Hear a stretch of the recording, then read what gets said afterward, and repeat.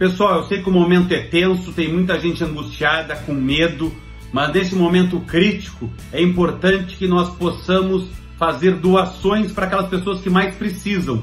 E neste vídeo eu quero pedir para você fazer doação de sangue. O nosso Hemocentro Regional de Pelotas está com estoque abaixo do ideal.